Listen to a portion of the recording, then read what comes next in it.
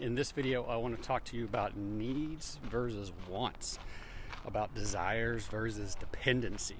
You see, we get confused sometimes about which are which. We don't understand the separation, the definition between the two.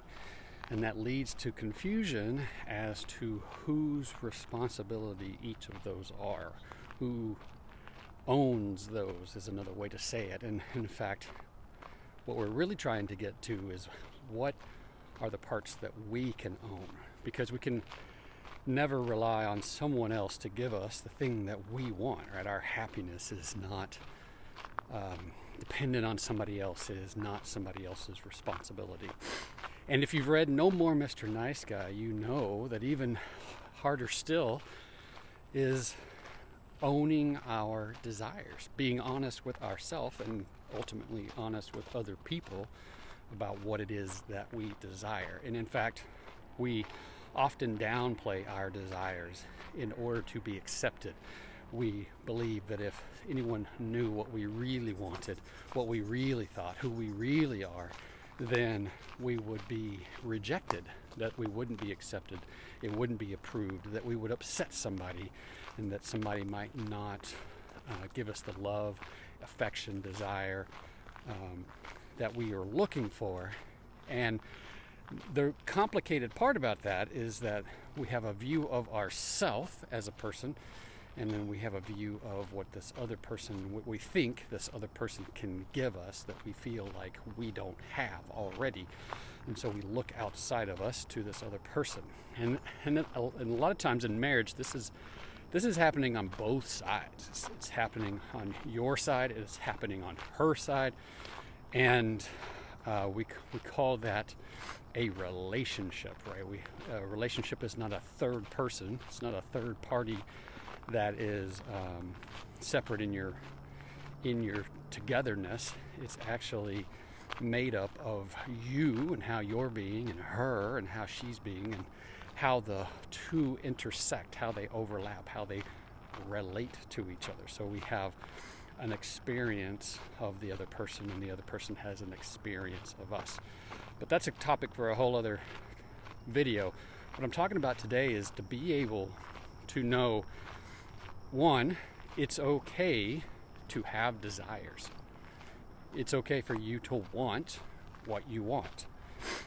A lot of times there's shame, fear, anxiety wrapped up in that, right?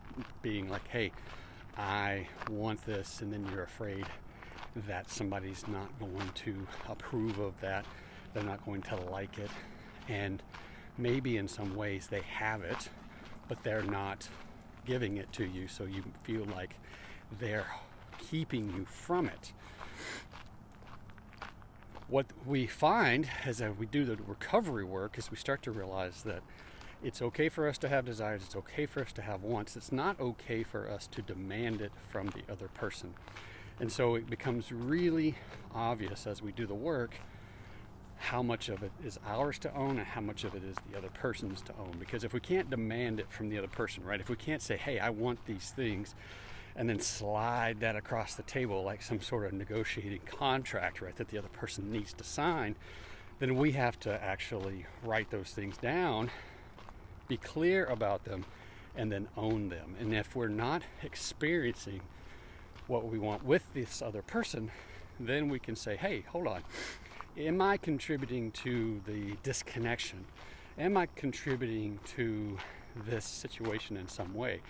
And some, day, some ways, when I talk with guys, sometimes what we're doing, and I know that I did this in my own relationship, we're shutting down communication with her, right? We're shutting down her emotional safety. She's she doesn't feel um, that it's okay to open up and talk to us. So she withholds and she pulls back and she withdraws. And then we, we feel that, we experience that, and so we blame her for that. But we don't recognize that we're contributing to that. But then there's other times when it's not something that we have any control over. We have um, the other person brings to the, the party their own uh, set of issues and their own things that they're trying to work on and recover from. And so, if we're not experiencing something with that person, We may not be able to. It may not be possible to experience it with that person. And rather than blame them, be mad at them, and, and feel like that's some sort of judgment on us, we can actually uh, decide that we need to make new choices for ourselves. Maybe we need to end the relationship. Maybe we need to um, take time to work on ourselves. Maybe we need to just be honest and be clear about what it is that we want and give the other person an opportunity to say whether or not that's what they want as well. But we can't do that until we own, right? Until we're honest with ourselves and others about what it is that we want. And a lot of times, shame, fear, insecurities, anxiety, that keeps us from owning those things. It keeps us from being honest with ourselves.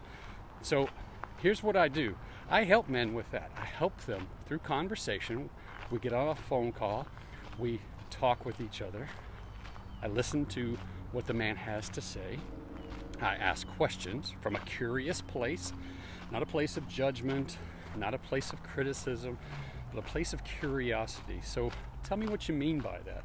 Tell me what that would look like for you. Tell me why do you think that you want that? Where did that come from? And as the man begins to think about these things and verbalize these things, he's actually able to hear himself for the first time. Sometimes he's able to hear that clarity and what it is that he wants, and sometimes it's it's that he can actually hear that he wants something, but he's not clear about what it is. And so we talk, and we get down to that point because at the end of the day, you have all the answers for yourself how you want to live your life, what you want to experience, who you want to be. And it just takes a conversation with someone who can listen, who can ask questions, who can challenge, and who can walk with you, point to resources, and accept you without judgment, without criticism, and help you get that clarity for yourself that you want. And I can help you do that.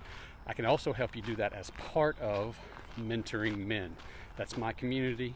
I want to invite you into it. There's a link in the description. It's a community of supportive men who have been through and are going through what you're going through right now and so they get it they understand it's not a it's not a bro community it's not a community where guys are just going to tell you what you want to hear they're actually going to support listen empathize and be there for you when you have questions, when things get tough.